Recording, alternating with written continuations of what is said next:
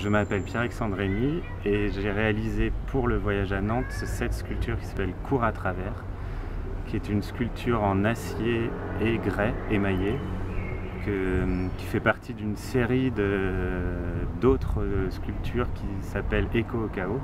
Celle-ci est la plus grande dans son envergure et dans son, développement. Elle est composée de cinq noyaux en grès émaillé et euh, se développe sur euh, un peu plus de 15 mètres euh, le long du cours.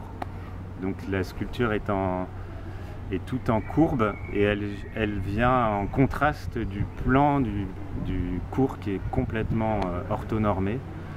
Il n'y a quasiment aucune, aucune courbe dans ce cours, si ce n'est le mouvement du, général Cambronne qui retire son épée. C'est le seul mouvement circulaire du cours même, la végétation est taillée de façon euh, parallépipédique.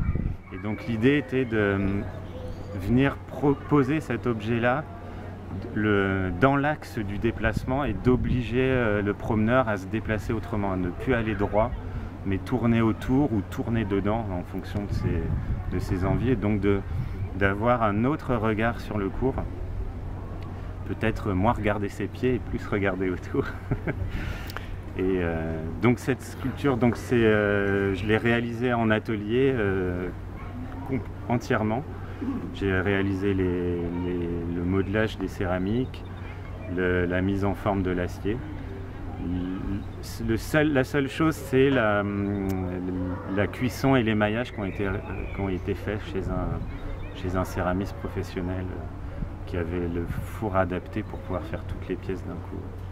Et euh, le montage s'est fait avec euh, quatre autres personnes qui ont été euh, très importants pour les, jours. De, ça, enfin, ça me semble important de les, citer.